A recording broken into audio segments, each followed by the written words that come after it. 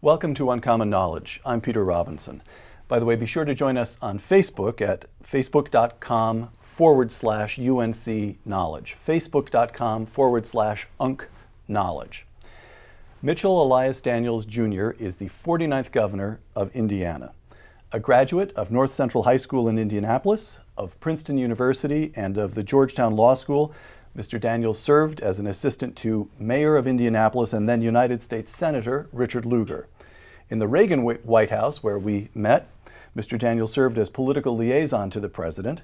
In the George W. Bush White House, Mr. Daniels served for two years as director of the Office of Management and Budget. Mr. Daniels was elected governor of Indiana in 2004 and then reelected in 2008. In both campaigns, he crisscrossed the state riding in an RV or on a Harley Davidson and visiting every one of Indiana's 92 counties at least three times. Reelected in 2008, he won more votes than any other candidate in the history of Indiana. Mitch, what model Harley? Well, there are two. Oh, you've got two? Yeah. Yeah, there's a there's an 04 uh, lowrider, it's called, which is now painted to look like the state flag. sort of the official uh, uh, bike of the state. And then uh, there's a, a, black 2008 uh, Fat Boy. Good, good. You live well. Weekend edition of the Wall Street Journal. Mm-hmm. Front page. The governor who cut his state down to size. Mr. Daniels cut spending, trimmed the state workforce to its smallest in decades, and turned a yawning deficit into a mm. surplus mm. with only scattered outbursts of popular anger along the way. He has emerged from all this with high marks from voters. How'd you do it? It was very mysterious. Um, I hate to give away secrets, you know, but for you I will. Uh, we spent less money than we took in. It's an old, uh, somewhere said, tribal ritual out in Indiana. Not to be too flip about it, it wasn't that uh, easy. We did have an extraordinarily uh, tight, state budget in 55 years. Um, spending uh, for the six years that we've been uh, on the job in Indiana is the lowest, I think, in the country. Spending growth, that is, less than 1%, which is about one third the rate of inflation. So we just put the brakes on spending very, very hard. And you had, in Indiana, the legislature is called the General Assembly. Right. You've got two houses, but together they're called the General Assembly. That's right. You had Republican majorities in four years of your six. Is For, that correct? Well, not yet. The no. first two, and then for the last uh, month, we've had that again. But for the intervening four years, it was a divided legislature, which the, our Democratic friends were in charge of the House. Another in, indispensable tool, Peter, was that the legislature, uh, whether uh, Republican or divided, was kind enough to uh, delegate to the uh, to the governor uh, the opportunity to reduce spending uh, if revenues disappointed, which they did in a huge way, and we've used that authority really vigorously. Essentially, an impoundment authority or it a rescission is, yeah, authorority, which incidentally, I, have argued would be something that would be useful to restore. It. Presidents of the United States once had such an authority, and I think if we're ever going to get that squared away, it'd be a very nice uh, implement for their toolbox. But anyway, it was uh, between um, uh, very successful, I would say, cooperation on, on the budgets we got, and then aggressive action every single day to look for ways to stretch dollars and, and spend even fewer than they voted for. Uh, we got out of bankruptcy into a strong enough position to ride through the recent uh, difficulty without a tax increase. We're basically the only state not sitting on a lot of oil, gas, or something energy related to have done that. And um, music to the ears of a Californian, where we're facing 29 billion dollar deficit over two years. You cut property taxes, but mm-hmm. raised sales taxes. Why do you prefer property taxes to sales taxes? I mean, why do you prefer keeping those low? Well, we thought we were out of balance. We thought our property tax system was um, uh, working a hardship on homeowners, on senior citizens, and even on our business sector, and it was growing very fast. And uh, so um, uh, it's important to know this was the biggest tax cut in state history. So the revenue that a penny of, of sales tax raised was offset almost two to one by the cuts in property taxes. And on top of that, we capped property taxes, and now we've made this constitutional. So uh, just to eat your California heart out, if you came to Indiana, as you ought to do really, and uh, bought a house, it would not only cost you a lot less, you would never pay more than one cent on the dollar of market value maximum uh, uh, to own that home in property taxes. Education. Andy Ferguson, in his Weekly Standard cover story about you, appeared this past summer. Quote: School funding increased. Increased. You've been talking about everything you've cut. School funding increased every year under Daniels before the recession, and since the downturn, when most areas of state government have seen cuts of 25% or more, education has been reduced by 2%. Yeah, that's correct. Uh, uh, it's unknown to most uh, Hoosiers, and unfortunately, I think to most Indiana educators. But um, uh, we looked recently, and Indiana, by a clear margin, devotes a higher percentage of its state government, over 50%, to K 12 than any other state in the Union. So we have protected uh, education funding uh, about as well as I think we could could have. You're not opposed to government. You believe there are certain essential functions, and in the state, in state governments, education is the primary function. Public safety is probably the primary function, All but right. right behind it, um, yes, um, uh, we think public education. Now that's a function, uh, which leads to a different set of arguments. The the function is to see that the children are educated. Know, how we do that um, is is something honest people can differ about. The function is not to create a system, however, which I think over the years some people have, have confused means with ends. Um, uh, briefly, while we're still talking about your uh, time as governor, you've got a couple of measures pending before the General Assembly right now, which I'd like to touch on just briefly. Um, quoting a speech you gave earlier this month, before our current legislature adjourns, we intend to become the first state of full and true school choice. Yes. Uh, we've already achieved a situation in which um, any uh, family that, that can, can manage it can enroll their child in a different public school district, cross a um, district lines, no tuition. when you say they can manage it, they, they're going to have to drive the child back and They forth? might. Okay. They might. All right. Uh, and during this General Assembly, we were trying to dramatically expand charter schools, which is another very important form of choice. And then finally, for low and moderate income families who still can't, aren't confident they found the right uh, uh, of, a public option, either traditional or charter, um, a, a scholarship that they can uh, take to the non-government school that they prefer. You're not using the word voucher. I could. That's a common term for it. That's what it is. But um, uh, you know, I prefer to think of it as as a scholarship that the uh, the the money really is for the child and for the child's education. This is the point I was referring to earlier. The responsibility of the state is, is to try to make certain that every child can have a high quality education. But we trust families to decide for themselves where uh, that can best be achieved for their child. Last item while we're talking about your time as governor. again, quoting from the speech you gave in February. My proposal for an, uh, again, pending before your general, current General Assembly, my proposal for an automatic refund of tax dollars beyond a specified level of state reserves. Yeah. Uh, in, a way, you can think of this as a, uh, uh, a very flexible spending limitation. But the idea simply is that we would decide uh, when, when budgets are balanced and a sufficient uh, savings account has been set aside, and that, I'm open to what that is. Is it 10% of the year's budget? Is it 12? But beyond some point that we'd agree on, automatically any revenues left over beyond that would go back to the taxpayer. I think it would uh, create a healthy incentive for future legislators to stop spending uh, at some point so they could uh, um, give at least a small uh, refund to everybody. Segment two, the Red Menace. The governor of Indiana speaking in February to the Conservative Political Action Committee, conference rather, Conservative Political Action Conference, quote, the American project is menaced by a survival level threat.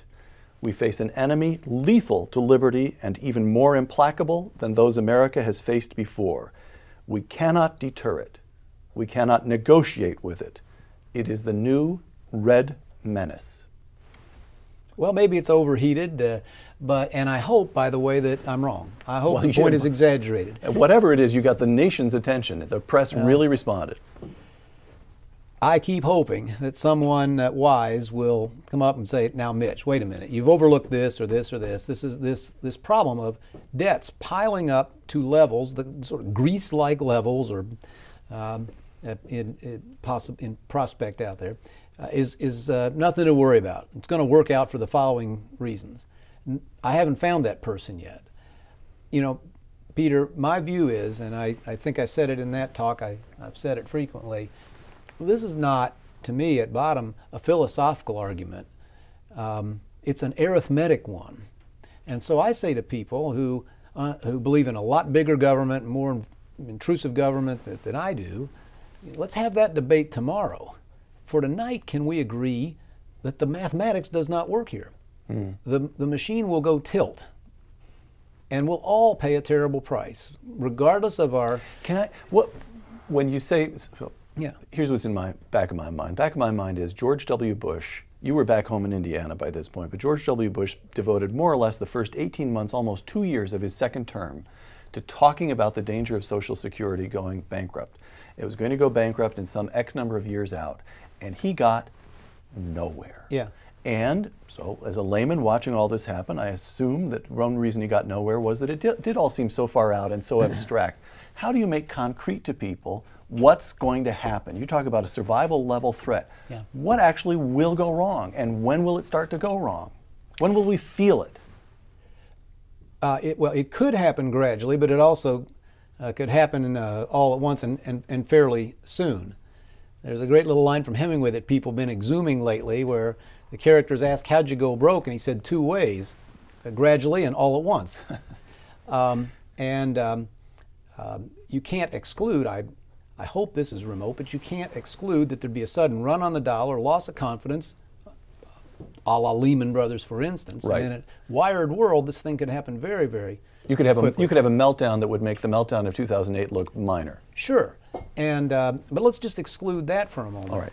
It is there, uh, I don't know at this point of, of anybody, regardless again their view of uh, uh, political philosophy, who believes that you can run any enterprise, private, public, small, large, with the kind of debt levels that we are abs- we are headed for with absolute certainty. Sooner or later, your creditors run you, mm. and so uh, and and um, and there's all sorts of evidence that we'll have a permanently stunted economy, that the American dream of upward mobility, uh, of, of one's children doing better than, than you did, will perish. And uh, that'll lead, I think, to a loss of liberty. It'll certainly lead to a loss of influence in the world. It'll lead to a much, uh, to much less uh, national security than we probably really want to have. And so I think it's a problem we all share, whatever our differences on other questions. Um, and again, I, am waiting, uh, uh, hopefully, for someone to uh, tell me to calm down and uh, not as bad as I think. Uh, so, unemployment in Spain right now, 20%. Yeah. One in five workers yeah. looking for a job can't get one. In Ireland, it's moving up in that direction. In Greece, the numbers are unreliable, but something like that, if not worse. That could happen here. I don't know how it doesn't happen if we wind up where those countries uh, did in terms of the money they owe. Uh, uh, so much of, uh, of the entire substance of the economy going just to pay the interest on the bills you ran up uh, in the past. So. Okay. Let me quote you again, Mitch. Again, this is your CPAC speech. We know that the basic element, we know what the basic elements of reform must be. Sunsetting the major welfare programs of the last century when those currently soon to be enrolled, currently or soon to be enrolled have passed from the scene the creation of a new Social Security and Medicare compacts with the young. Sunsetting Social Security, the revered program, seven decades old, given to us by the great father of us all, Franklin Delano Roosevelt. Mm-hmm. You haven't just touched the third rail of American politics, you have given it a body hug. Well, uh, first of all, um, uh, I, I, chose that word uh, uh carefully. It, it, it doesn't for a moment disparage the system we've had to say that uh, it may have worked great for uh, a long, long time, but it may not work well going forward. You know, you asked me earlier, why should we believe that any of these things can occur? Um, I'll give you some reasons for optimism. One of them is that dividing the programs, whether it's Social Security or Medicare, saying to those who are counting on them now or will in 10 years or 15 years, don't worry about a thing. A deal is a deal, you're good to go, that you're going to have exactly the program that you expected. But you say to the young people who are getting the massive shaft in this country the way we're headed right now, uh, they are paying for today's retirees. Some people haven't caught on to that yet, but they are. uh, the today's workers pay for yesterday's workers. Right. And um, and uh, they have no prospect at present of anything remotely equivalent waiting for them when they get to their elderly years. So here's the reason for optimism. You know, tens of millions of Americans have been through this already. Business after business uh, uh, over the last 10 or 20 years has uh, come to the conclusion that the existing pension system or the existing uh, health care system that they had, a health insurance system, um, was going bust. And so they, they, can, they left it in place for those past a certain point, but right. they started a new plan. It's not radical. Uh, what would be radical and tragic would be to just leave this thing on autopilot, take everybody off a cliff. Speech to CPAC again. You proposed a couple of good ideas. You quoted them as, as good ideas. One would be a new tax system. Again, to quote you, lower and flatter and completely flat is best. Now, you know politics as well as anybody, so I don't really re- need to remind you, but I will, that when Jerry Brown ran for the Democratic presidential nomination against Bill Clinton on a flat tax, he got wiped out. and when Steve Forbes ran for the GOP nomination on a flat tax, he registered 2 and 3% in polls with a margin error of 3 or 4%. Got nowhere. So you are arguing is this i'm probing here i just mm. want to know what's are you saying here's something toward which we should aim as an ultimate idea the way milton friedman would just say look i know this isn't practical but someday maybe or are you saying circumstances have changed there's an opening well this is interesting um, first of all uh, let me i'm going to back up a half step and sure. catch up quickly circumstances uh, I believe have changed. People, uh, let's go back to the debt issue. And could, could you really talk about changing the um, so-called entitlement right. programs? The third rail. Um, uh, why now? Why when you know President George, George Bush, got nowhere? Right. Right. Um, well, uh, one reason might be that we've had this little intervening event, a terrifying recession associated with debt, and everybody knows it. And almost every American either had a personal, up close and personal encounter with debt, or their family member did, or their neighbor did, or the business they were in did. And I think you, we'll have a permanent change in outlook from folks who have looked in the mirror and thought to themselves, you know, Grandpa was onto something right. when he said, don't borrow too much. So now, let me switch back to the uh, simpler, lower, flatter tax. Right. You know, there's also uh, this one I think is a whole lot easier, and I, and you'll remember, I spent a great deal of my time in the uh, our, my service to President Reagan out advocating lower, flatter taxes. They, uh, you know, the rates came way down. And we got them. The, the 86 reform worked. That's it did right. happen, yes. That's right. And um, I'll also mention that uh, this is one item on which I think economists across the spectrum, right to left, seem to agree that a more neutral system is not is first of all more fair, but the most important thing, and the reason it was in that speech is if we don't we can do all the reforming that, that I might dream about. We can cut the federal government down in, in all the ways that we that we should. Um, but if this economy does not grow There's no at a at a very rapid rate, and for years without much of a hiccup, we just cannot catch up to the, the debts that we've piled up. And that's the main reason. And I think if you argued it to Americans, first on the basis that it would be simpler, a lot of us could resume paying our own taxes again, which only a minority. What an, what an embarrassment that in our society, a dwindling minority of people can cope with the voluntary tax system. Not only be uh, uh better in that respect, but that the main point would be more jobs and more hope going forward. And every economist around agrees with that. You might have a chance. Okay. So the answer is you're serious. You're serious. You want to get this stuff done now. Well, we'll come to that. We'll come to that. Did, did I act like I was no. joking? uh, segment three. What does he mean by that? You spoke at CPAC, Conservative Political Action Conference, in February. Chris Wallace just today called you the it boy. David Brooks has said you ought to run. George Will said you have the low key charisma of competence. I love that phrase. Um, front page here we are of the Wall Street Journal, this weekend edition. And so your old friend Robinson's been looking around the conservative web, and people are more than interested. But there are a few questions. So let me put them to you, Yeah. give you a chance to answer questions folks are raising. Value added tax. At CPAC in February, you advocate a flat tax, but when you spoke at the Hudson Institute in October, you quoted Hudson's founder, the remarkable intellect, a great man in my judgment, Herman Kahn, who said, this is you quoting Herman Kahn, Yeah. quote, it would be most useful to redesign the tax system to discourage consumption and encourage savings and investment. One obvious possibility is a value added tax and flat income tax. Close quote. And then you added, this is your words, that might suit our current situation pretty well. Yeah. Close quote. Well, you know, I'm not for a VAT tax. I, um, I was extemporizing that night. I was making really two points. That the, um, the Hudson Institute I knew and, and loved was really famous for its contrarian thinking. And it, it, it operated on the premise that by the time everybody agrees on something, it's probably wrong, and let's go figure out why.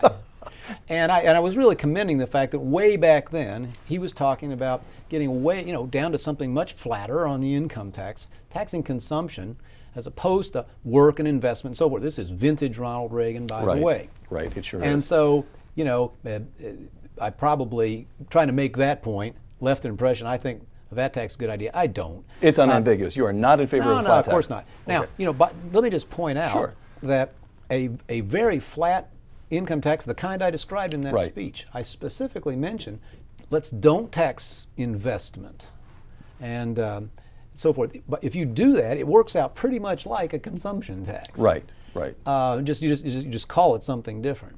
But the whole point uh, uh, I, it was to, to say that uh, on that one evening, you know, let's keep thinking, let's keep our brains turned on, let's see if there are some new ideas, regardless the subject matter, and um, that's all I had in mind. Okay, collective bargaining.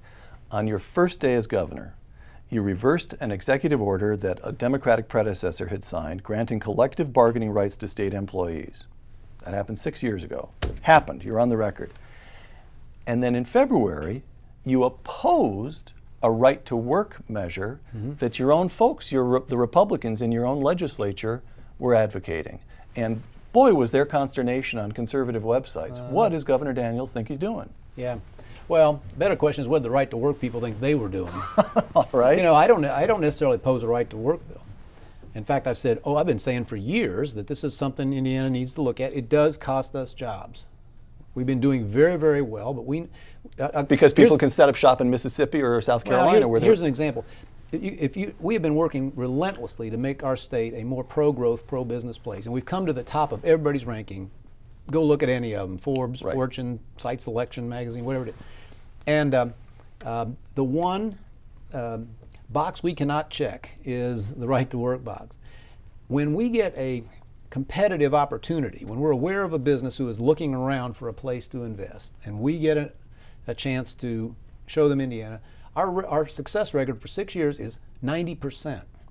But we also know that there's about a quarter of the opportunities that won't look at us for this one reason. So I have been uh, openly, you know, said that this is a legitimate uh, subject. But here's the problem. Um, we worked very hard with an, with an open and explicit agenda of, you would have to say, conservative change, and um, won an election. And I've been very excited about advancing, about achieving these things. Some we've talked about here: the automatic refund to taxpayers, uh, School uh, choice. the biggest uh, school choice opportunity in America, cutting the corporate income tax rate to bring in more jobs, um, a sweeping reform of criminal justice and local government and so forth. Into this very uh, uh, packed and sometimes controversial picture came, came the idea out of nowhere of a right to work bill. No one had campaigned on it, not the, not the legislators who brought it in. They had not gone to their people of their districts or the state and said, this is what we should do and why. And I said, why don't you bide your time? There's a better way, develop the case, and maybe next year. Uh, I was very afraid tactically of exactly what happened. This provided the pretext for our uh, Democrats to uh, repair to a hot tub in Illinois. They pulled, to, whereas- Wis- pulled as- Wisconsin. They hit they skedaddled from the whole state. That's right. And um, that entire agenda, which these critics you're talking about, if they were aware of it, I think they'd probably be enthusiastic about everything we were on the brink of doing. Right to work never had a chance. It probably has, by the way, their chances in Indiana have probably been reduced Right. by the sudden you know, surprise uh, move that they made. And in the meantime, they have jeopardized one of the most uh, ambitious, it's fair to say, conservative agendas in the country. So it was a terrible, at, best, it was a terrible bit of judgment on the part of those who plowed ahead anyway. Okay. Segment four. What does he mean by that? Continued. the truce. Last summer, you told Andy Ferguson, doing a profile for you for the Weekly Standard, quote, the next president would have to call a truce on the so-called social issues, close quote. Now let me read to you a couple of sentences from Bill McGurn, Wall Street Journal columnist, friend.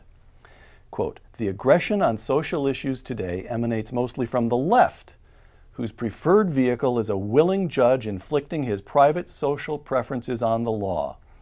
Anyone who believes a Republican call for a truce will end this is living in a dreamland. A far better way to unite Republicans and independents and Tea Partiers would be to talk about returning these hot button issues to where they belong the states and the localities acting through the people's elected governors and legislators. Close quote. You got Bill McGurn angry, that's for sure. Well, he may be right. I don't want to argue with anybody about this. You know, one of the ironies is, um, you look at what I've said, and, and in my case, done. Um, I'm in complete agreement with most of those who. well, let's talk about that. You have a pro-life record. Yeah, and unlike a lot of people, I've just talked about it. We have actually passed legislation to, in essence, make it more informed. The, the choice that the law currently requires more informed in Indiana. Um, abortion clinics were not regulated till I ordered it uh, in Indiana. And so uh, we've taken uh, those steps. You don't have, don't take it from me. You can check with the right. Uh, right to Life organizations. They've never had, they will tell you, uh, a governor so pro-life. Um, so it's not that I disagree at all about with, with, these folks, and I don't want to have an argument about it. Bill may well be right. Um, it was simply a, a tactical suggestion that goes back to the premise we discussed earlier.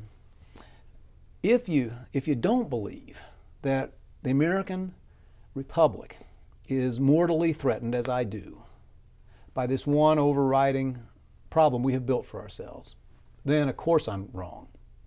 And, uh, uh, but if that is the case, then all I was really saying was, I don't want to lose one person. You, were you keep talking about yeah. how hard it's going to be, and it is, to make the kind of changes that will restore America's greatness. And uh, all I was saying was, we're going to need to unify all kinds of people. And we're going to need, freedom is going to need every friend it can get if we're going to do these things. And so, that's, you know, but look, the folks who have taken exception. Uh, they're your friend. They're your, they're. And I'm and I'm theirs, and I respect them. And uh, uh, All right, so let me let me ask one more question on this truce idea, because this again is everybody. This is everywhere. So let's give you a chance just to address it. The next president, whoever that might be, is very likely to face a, an appointment, a, a vacancy on the Supreme Court. Now, if that next president were following your advice wouldn't make a bit of difference. Has nothing to do with that. There well, is, in other words, does a truce mean that you you let Cass Sunstein and Larry Tribe give you the, I mean, or no, you choose somebody from the Federalist Society? What what the heck does a truce mean? Well, if case? I'm the one who used the word, am I entitled to decide what I was talking sure about? Sure, you are. Yes, yeah. yes. Well, first of all, it was addressed to both sides. Mm-hmm. Uh, Mr. McGurn was quite right. I've said the same thing many times. The most the aggression right now comes from those who are trying to, you know, change uh, our social uh, arrangements uh, by judicially or somewhere uh, uh, from the other side. But um, this has nothing to do with one of the deepest uh, convictions that I have is about strict construction of constitutions. It goes to the heart of our rule of law. I've only had three shots to appoint judges in Indiana. Um, we have one of those systems in which I am sent a panel, and I have appointees to the panel, so they know what I'm looking for. And fortunately, I've always had the opportunity so far. I've selected three of the most rock ribbed, unimpeachably strict constructions judges Indiana has seen. That's, abs- that's a non uh, negotiable item uh, with me. And I hope, you know, that next president, whoever that may be, right. will have that same viewpoint. defense. Two quotations. One, you at CPAC, quote, nothing, not even our national defense can get a free pass. We are constantly, we are currently borrowing the entire defense budget from foreign investors. That is not, as our military friends say, quote, a robust strategy, close quote. Item two, this is almost a dirty trick because I know you, you and I feel the same way about him. Quotation two, Ronald Reagan. Mm-hmm. Quote, defense is not a budget issue. You spend what you need. Well, if you have it, you know, if you have it, uh, I said in the very same speech, I've served in two administrations that practiced peace, the policy of peace through strength. It is, I think, inarguable historically that it worked. Right. And it was the appropriate policy, and it always will be. But um, we have not been in this bind before. You know, we have not been as broke as we are or are about to be. And it is absolutely inevitable if we do not tackle the uh, deficit and debt problems, defense will get strangled anyway. I said we'll have, if we don't get on top of this, we'll have a lot less strength and eventually we may not have peace. All right. Um, fighting war in Afghanistan, much of the Middle East aflame, China expanding its military dramatically. Let me quote to you Hillsdale political scientist and Ricochet contributor Paul Rahe. Uh, our fiscal crisis is not the only particular we must address. The Chinese are behaving like bullies. I also believe we're witness, witnessing a strategic shift in the Mediterranean. The younger generation is turning to the only cultural force that has purchase in the post Cold War world. They are turning to Islam. Tunisia, Egypt, Libya, Jordan, Bahrain, these states are likely to become more hostile to us. What does Mitch Daniels know about any of this? We have no indication. Close quote. Yeah. Well, um, I'm not uh, utterly new or naive to these things. The work of Hudson Institute was all about national security. And as OMB director, didn't you?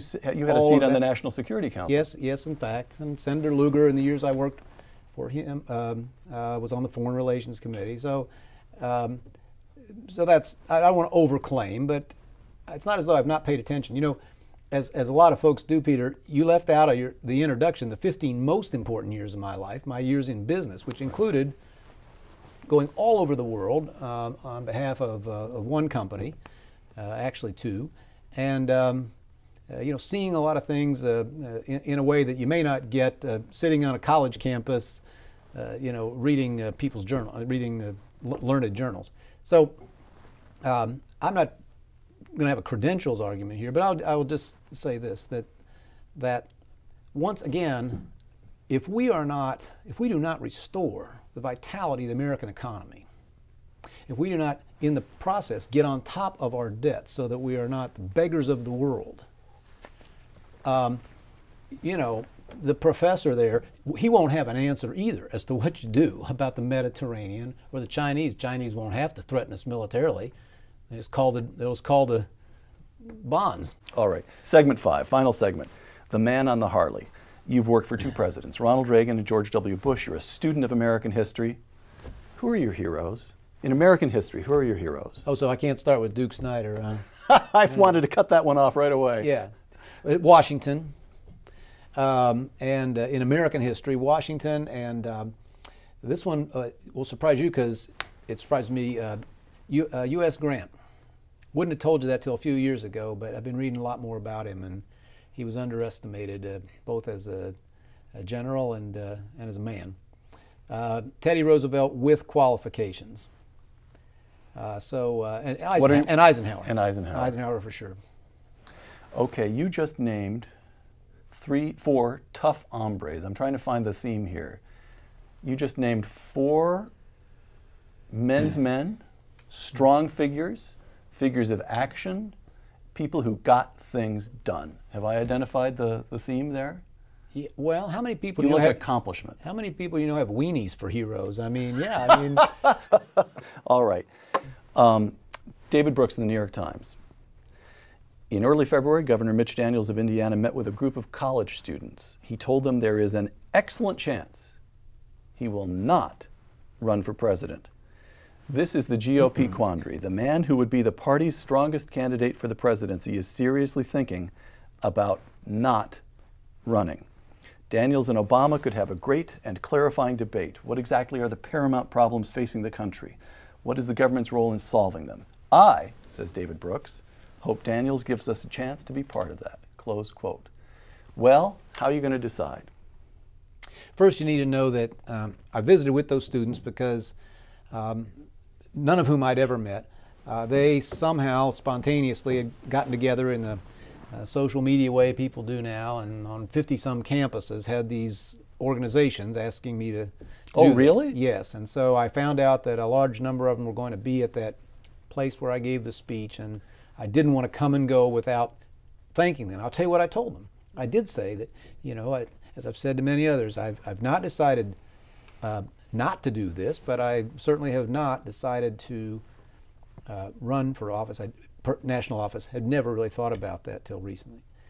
What I wanted them to, what I wanted them to know is how much I appreciated, first of all, their their confidence, and that I urged them in the event I didn't run. I said, "You've got to rebrand and keep moving forward. It's the young people of America whose interests are most threatened by the mistakes that we continue to make or the problems we continue not to address. And so uh, that, that's why I was, was visiting with them and, and gave them an honest assessment. Yeah, very well may not. You know, Peter, I, uh, we go back and I can't. t- t- could I just back? We do go back. So, um, there you were, president of North North American operations at Eli Lilly, one of the finest companies, best places to work, most admired corporations, year after year after year.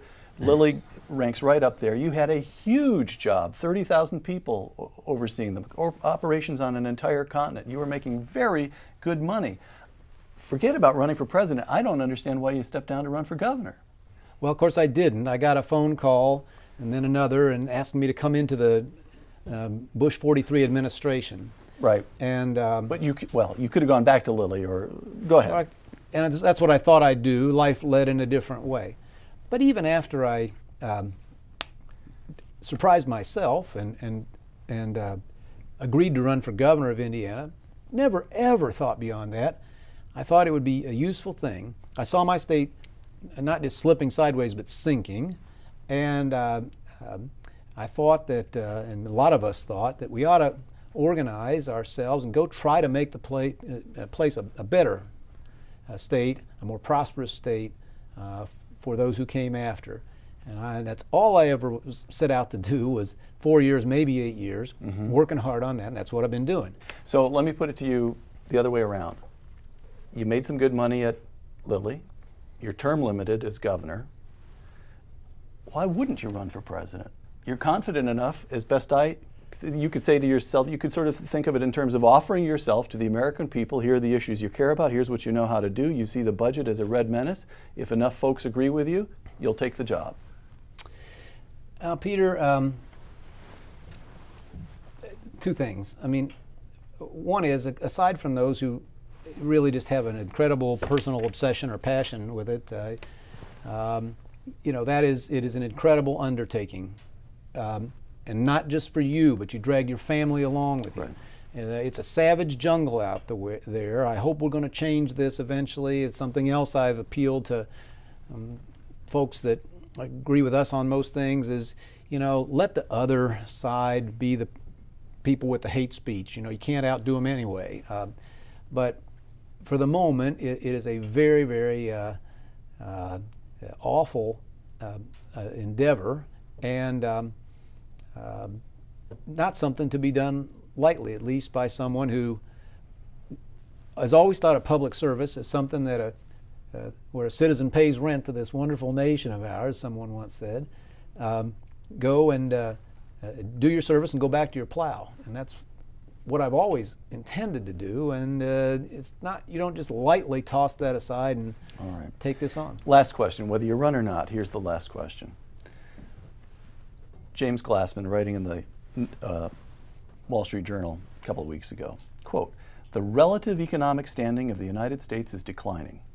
The Congressional Budget Office estimates that U.S. growth will average little more than 2% over the next 70 years, compared to about 3.5% during the second half of the 20th century. This is a stunning decline, close quote economic decline. if only relative decline, it's decline. The rise of China, the threat of radical Islam, Iran in pursuit of nuclear weapons, North Korea already in possession of nuclear weapons. Now, you spoke a moment ago about meeting with some college kids. What do you say, particularly to kids, but to any Americans who say, the wheels are coming off this project. Mm-hmm. The United States of America's best days are behind it. What do you say? I say the wheels are a little wobbly. Let's get the lug nuts and the wrench out and fix this thing. It is fixable. It, is, it, it really is, you know. Um, the, we've discussed most of the main elements, most of the lug nuts we have discussed here. I personally believe they are entirely practical, and I think they are, are politically practical once Americans uh, understand the facts. Uh, and in their new, I think, more sober min- mind, mindset that you just that you just described. Um, and what I would say and, and, and do say is, uh, if we simply get on with this, there's no country on earth I'd trade places with. Mm. America's possibilities are tremendous. Uh, unless we allow our self-inflicted uh, wounds to injure us uh, uh, too severely in the in the near term, in the next few years, when we can still deal with them. And so, you know, China, no, I wouldn't want China's problems. They, they, they have uh, uh, their demographic problems, the, the inevitable, uh, inevitable difficulty they'll have trying to maintain authoritarianism with rising uh, income standards. Um, Europe, heaven's sakes, um, you know, the uh, Islamist societies are a profound danger and need to be watched, I think, and dealt with as a security threat, but they're not an economic threat. Uh, mm. They're going to have to change dramatically ever to uh, really rise much above where they are. So I think that um, Reagan comparisons are, are so dangerous, Reagan era uh, comparisons, but we were in a very desperate position. Some folks have forgotten how desperate uh, in the late 70s and in 1980. Uh, and it did take very substantial action. But having taken that action, look how we, we had three decades of fabulous um, success and growth. And I think that that same sort of thing is possible again, but not if we dither, uh, not if we uh, uh, shrink back. Mitch Daniels, 49th governor of the great state of Indiana, now recovering from rotator cuff mm-hmm. surgery. Thank you very much. Enjoyed it. I'm Peter Robinson for Uncommon Knowledge. Thank you.